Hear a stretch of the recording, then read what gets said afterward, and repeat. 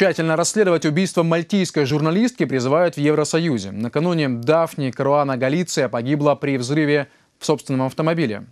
Ранее она открыто обвиняла семью премьера страны в коррупции и участвовала в расследовании, посвященном панамским архивам. В столице Мальты десятки человек вышли на протест, требуют привлечь виновных к ответственности. Мощный взрыв сколыхнул окрестности мальтийской деревни Бедния в понедельник вечером. В воздух взлетел автомобиль известной журналистки Дафны Каруаны Галиции. Трагедия произошла на глазах у одного из соседов. Я поднимался вверх по холму, когда заметил ее автомобиль. Услышал небольшой хлопок и увидел дым. Меня охватила паника, а через несколько секунд прозвучал еще один более мощный взрыв. Вся машина была охвачена огнем. Я вызвал полицию, но помочь ей не смог.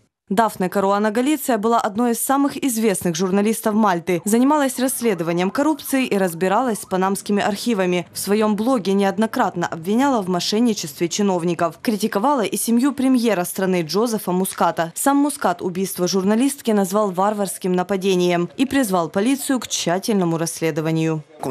Я осуждаю эту варварскую атаку. Это не просто нападение на человека, это нападение на свободу слова в нашей стране. Все знают, Галиция жестко критиковала меня и как политика, и как человека. Но это убийство можно расценивать только как преступление против достоинства и корректности.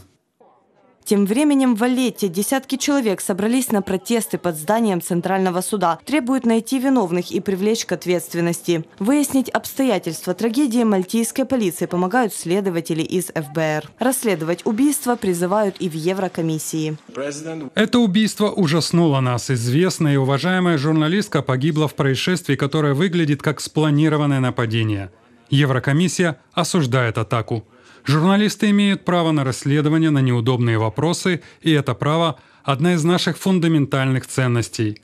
Мы призываем расследовать эту трагедию и верим в правосудие.